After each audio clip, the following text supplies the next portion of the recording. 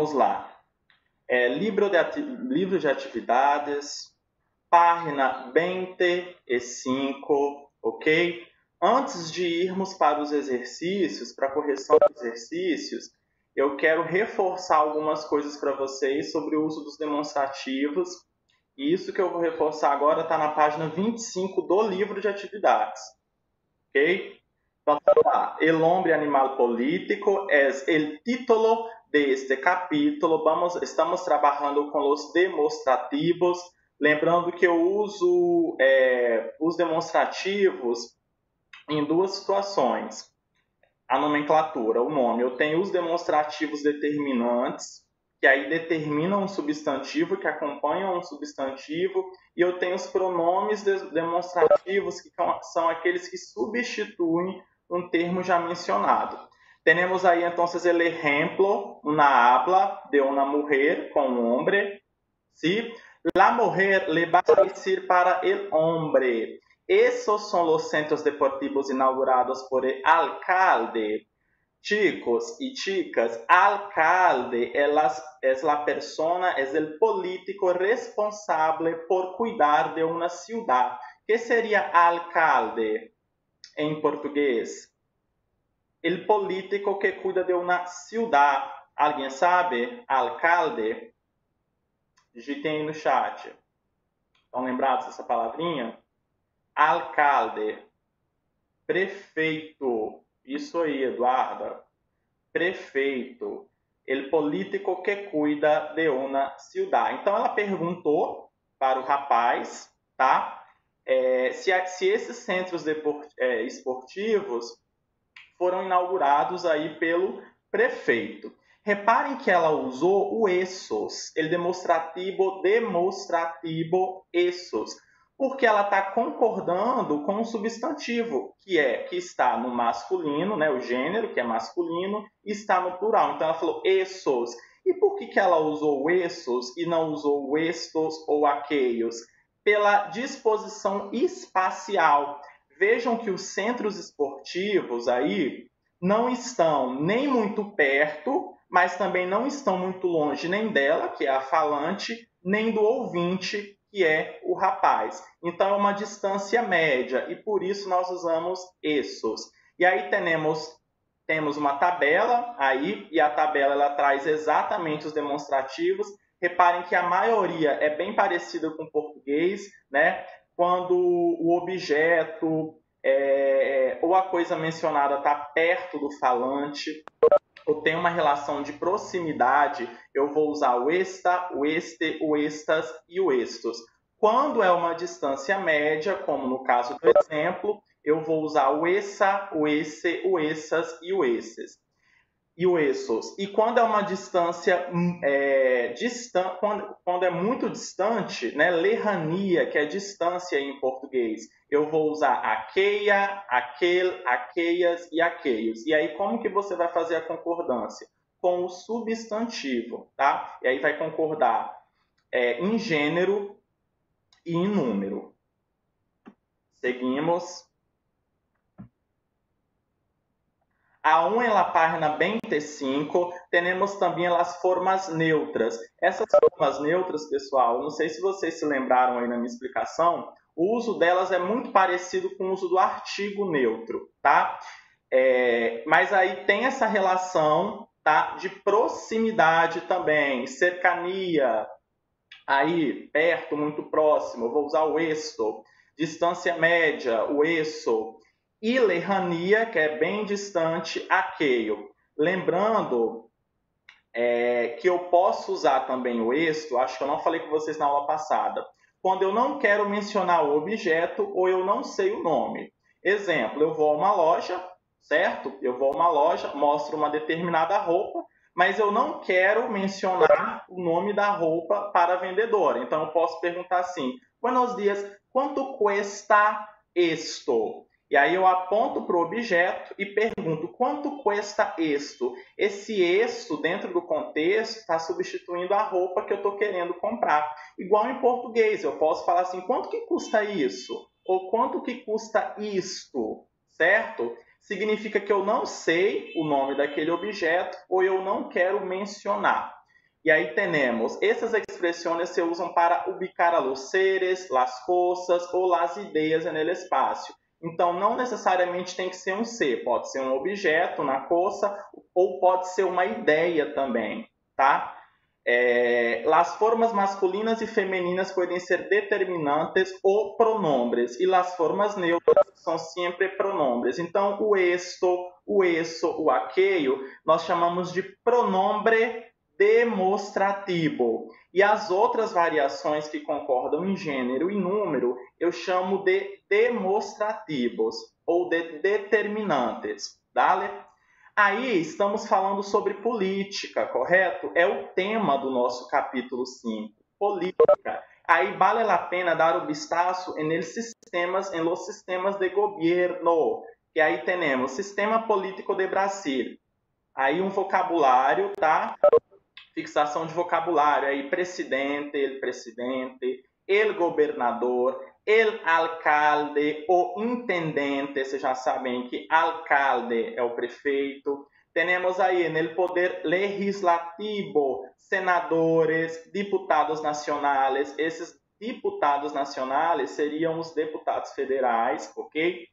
Deputados provinciales. Província é estado em espanhol. Eu posso dizer estado ou posso dizer província. Então, quem são os deputados provinciais? São os deputados estaduais, ok?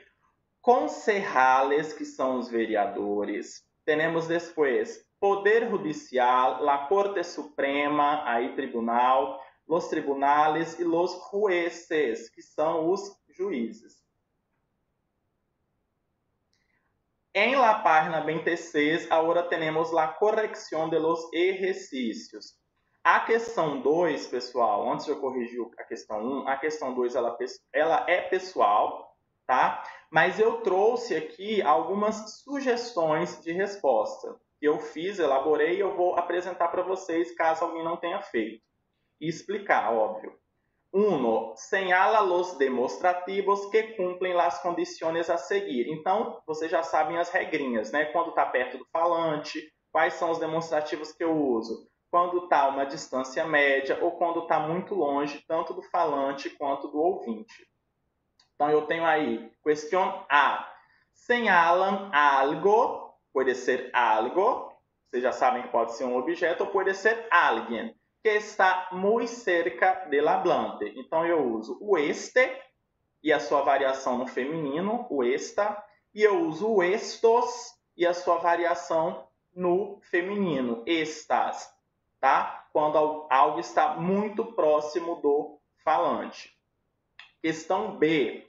Muestran algo ou alguém que está cerca do oyente, ok? Aqui, pessoal, está próximo do ouvinte. Só que há uma situação. É, quando está próximo do ouvinte, não quer dizer que necessariamente está longe do falante certo? Então, está próximo do ouvinte, mas de uma certa forma também continua próximo do falante.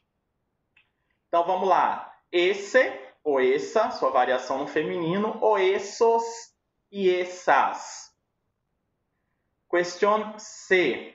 Señalan algo ou alguém que está alejado del hablante e del oyente. Esse alejado aí é distante, certo? Que está afastado tanto do falante quanto do ouvinte. Temos então aí aquele, ou a sua variação no feminino, aquedia. Lembrando que esse aquedia aí, ou aqueia, é com dois L's. E temos aqueios, plural masculino, e aqueias, plural feminino. Dale e quando eu tenho, eu posso fazer também uma referência a algo abstrato aí, não necessariamente a uma coisa ou a uma pessoa, né? Eu tenho aí os pronombres demonstrativos neutros, que são, quais são? O esto, o eso ou aquele.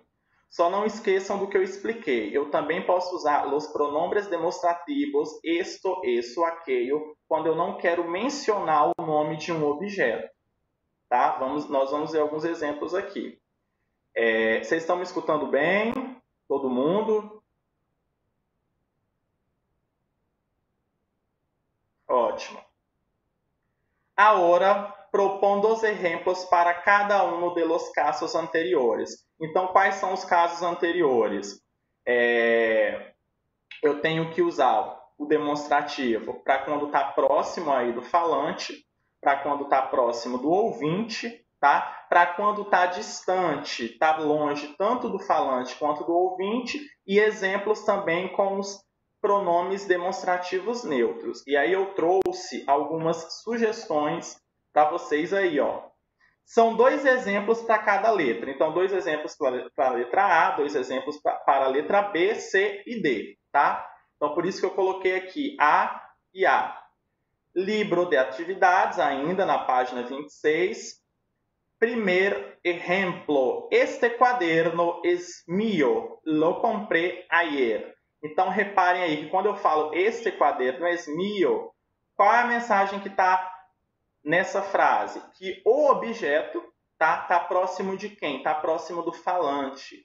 Cerca del hablante. Então, este. Eu até coloquei uma imagem aí, ó, para contextualizar, né, um caderninho que está com o falante, a pessoa que está mandando, enviando a mensagem aí, falando. Pro, próximo exemplo, esta camiseta é linda. A mesma coisa. Quando hablo esta camiseta é linda e utilizo o demonstrativo esta, o determinante demonstrativo, ok? Significa que o objeto está perto do falante.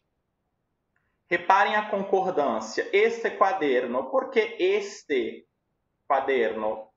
Porque quaderno é uma palavra masculina singular, ok? Esta camiseta. Por que esta? Porque camiseta é uma palavra feminina singular. Exemplos. Exemplos para a letra B.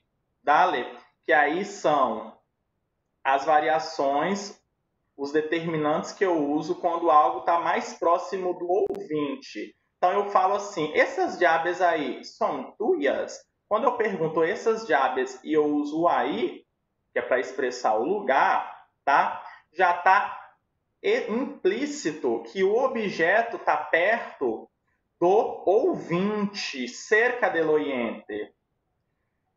Essas blusas me quedam bem, las quiero, ou seja, essas blusas ficam bem em mim, eu as quero. Cerca de loyente, eu até coloquei uma imagem aí para contextualizar. Uma cliente vai a uma loja, tá? Vai ver algumas blusas e ela fala essas blusas me quedam bem. Por que, que ela usa essas?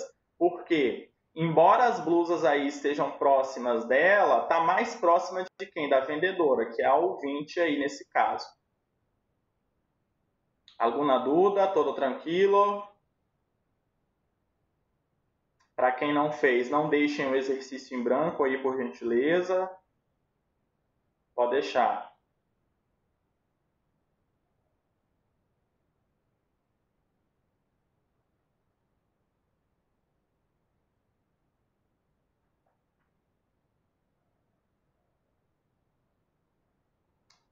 Pessoal aí, além da Eduarda, todo mundo ok? Fizeram a correção? Estou perguntando para vocês, digitem aí no chat por gentileza.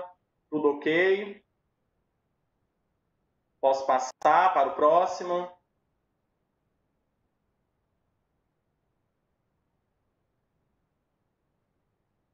Ok.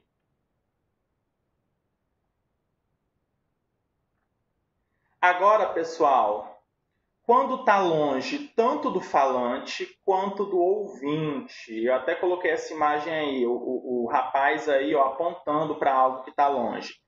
Dos exemplos, letra C. Mira, aquela chica é minha aluna, ou seja, olha, aquela menina é minha aluna. Por que, que eu usei aqueia? Porque a pessoa aí a qual eu estou me referindo, ela está longe de mim, que sou falante, e longe também do ouvinte. Então, mira, aqueia tique. Por que, que eu coloquei aqueia?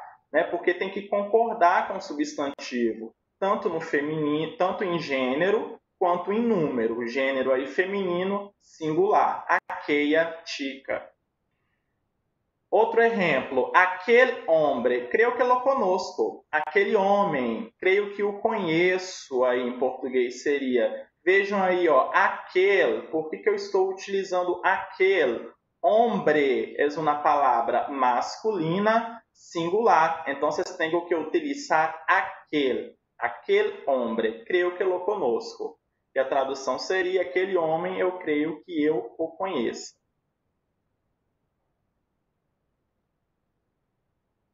Lembrando que aí a pessoa mencionada longe do falante do ouvinte. Isso aí, Eduarda, corretíssima.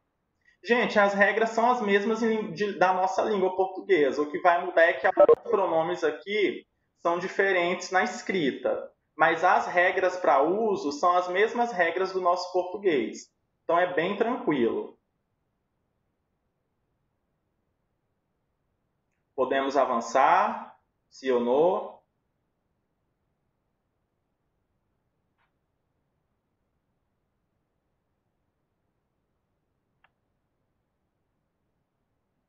Vamos lá. Agora, pessoal, a D. Lembrando que a letra D aí eu tenho que colocar dois exemplos.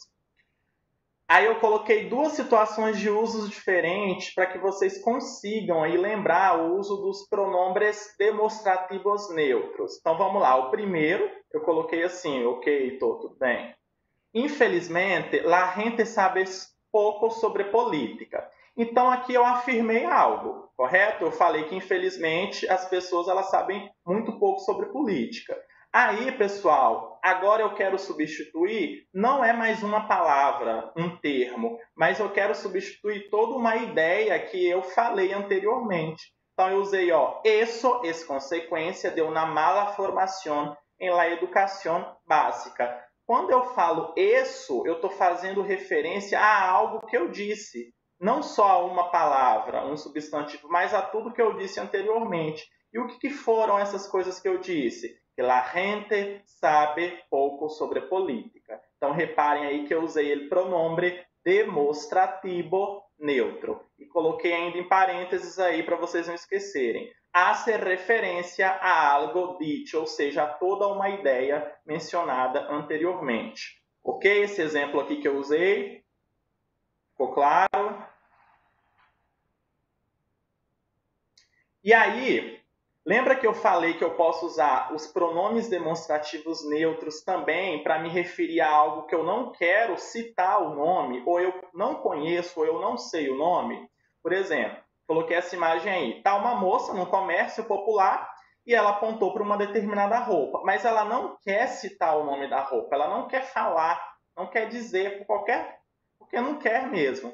Então, ao invés de ela falar bem assim, quanto custa esta camisa? Ou quanto custa essa blusa? Ela vai usar o quê? Ela vai usar o neutro. Então, quando ela pergunta assim, ó, quanto custa esto? Esse esto aí está substituindo o quê? Está substituindo essa blusa. Essa blusa aí da qual ela quer saber o valor, ok? E aí eu expliquei, no quiero decir el nombre del objeto ou no sé de que se trata. Então, às vezes, é porque eu simplesmente não quero dizer o nome do objeto ou eu não sei mesmo o nome, tá bom? Então, reparem que é uma outra maneira que eu posso também usar o neutro, igual em português. Eu poderia apontar para uma roupa e falar quanto custa isso? Ou quanto custa isto? Ok? Ficou claro a explicação aqui dos pronombres demonstrativos neutro? Alguma dúvida? Esperar um pouquinho aí para vocês copiarem, quem ainda não copiou.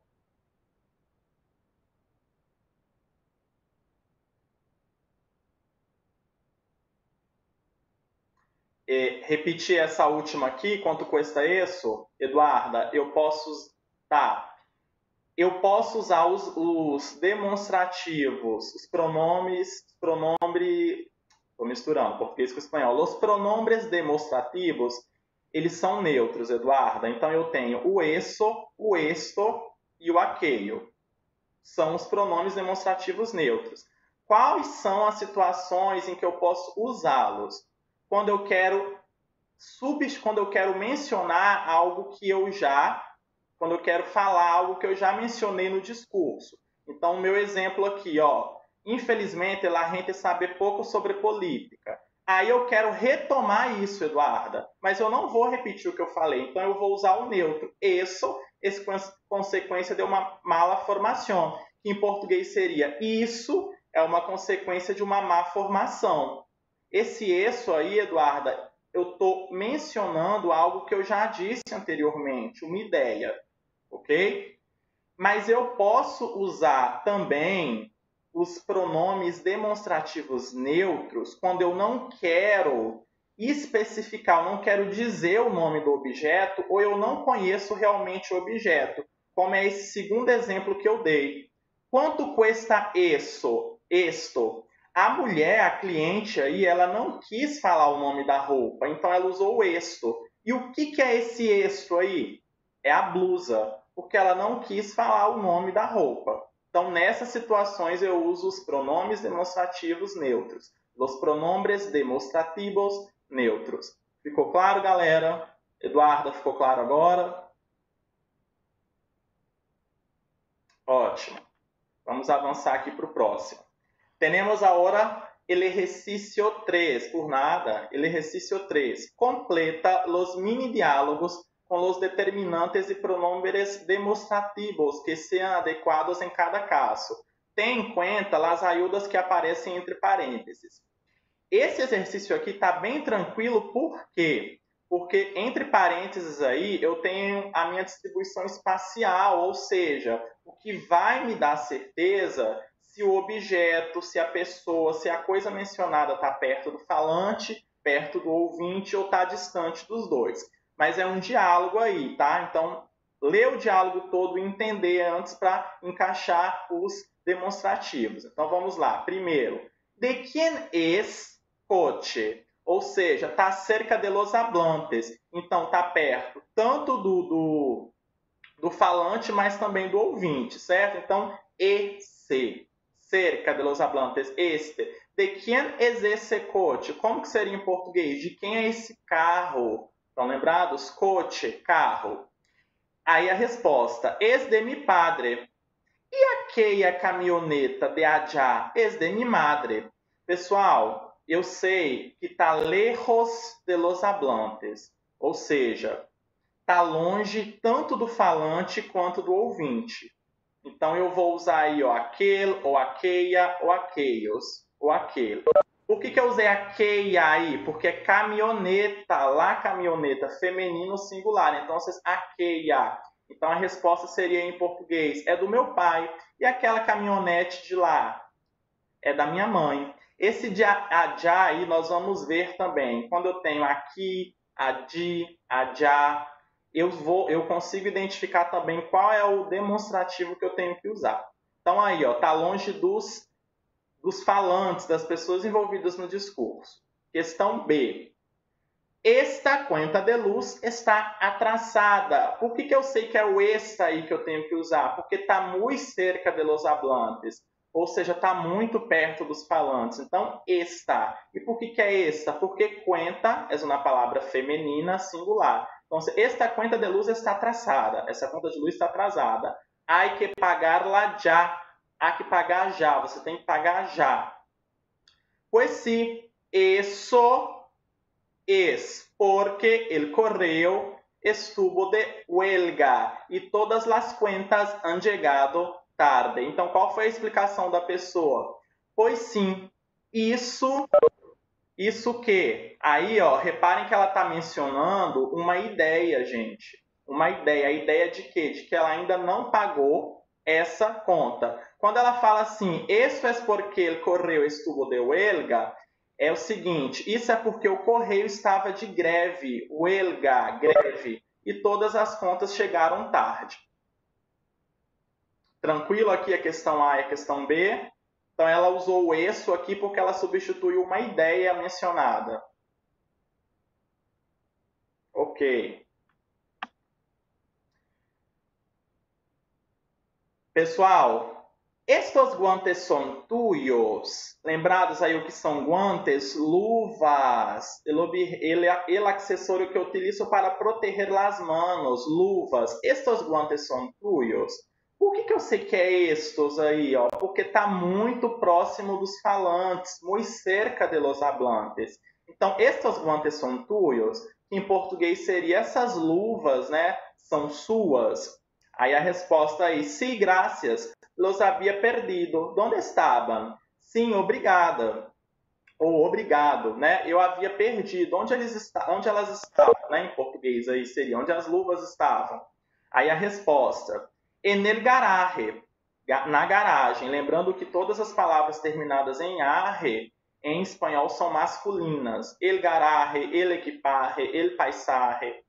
Arriba de aquel baúl donde papá guarda suas herramientas. Reparem que aí, ó, é, o objeto está longe dos falantes, por isso que eu tenho certeza que eu tenho que usar o aquele. E por que, que é o aquele e não aqueia? Porque baú é uma palavra masculina singular. Então, arriba de aquele baú onde papá guarda suas ferramentas. Como seria em português? Em cima daquele baú onde o, o papai guarda as suas ferramentas, as ferramentas, ok? E aí termina o diálogo. E que estavam haciendo aí? Né? E o que, elas estavam fazendo aí? Pois no lo sé, dímelo tú, que seria em português.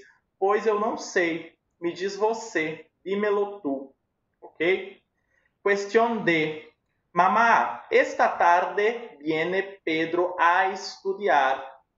Então eu vou usar o esta aí, a questão marcador temporal. Então sempre que tiver manhã, tarde, noite, ok? Eu posso usar essa variação aí, esta tarde, esta manhã, esta noite.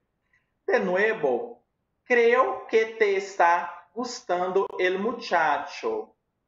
Esse, no Sofia. Porque então ela fala assim, ó, de novo, né? Porque o Pedro vai estudar, né, na casa dela. Eu acho que ele tá, você está gostando desse, desse menino. Não, Sofia. Então ela confirma aí com a Sofia. É, por que lo dices? Que aí seria, por que, que você está dizendo isso? Ela vai responder para a mãe, es que esta semana já ha venido dos vezes. Ou seja, porque essa semana ele já veio duas vezes aí na casa dela para estudar. Pues no es eso es que me está ajudando a preparar a prova de matemáticas. Então, quando ela fala assim, ó, pois não é isso, esse isso aí é para repetir essa ideia, e essa ideia é que a mãe está meio desconfiada, que ela está gostando desse rapaz. Que temos a preparar a prova de matemática, matemáticas que temos este lunes. Pedro sabe muito, sí, sí, como no. Então a mãe dela aí, ó, pelo final continua desconfiada. Confirmem aí então as respostas.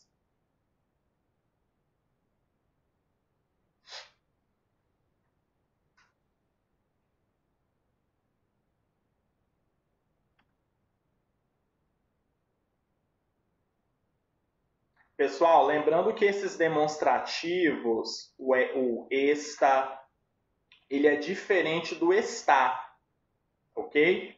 Quando eu falo assim, latica está aí, do verbo estar, com acento é do verbo. E quando eu falo esta, é o demonstrativo. Isso aqui, ó, gravem isso aqui que vocês vão precisar no, para o próximo exercício lá do, do que eu passei. Existem algumas expressões de lugar que me ajudam na hora de utilizar um demonstrativo em espanhol. Quais são essas expressões? Temos aqui o acá. Quando eu falo la chica está aqui, esse aqui significa o quê? Que ela está próxima a mim, que sou o falante. Então, cerca. Então, eu já vou usar os demonstrativos aí quando eu uso quando está próximo do falante, que são esta, estas, ok? estos ou estas. Eu tenho também a outra expressão de lugar, aí, que aí está menos cerca.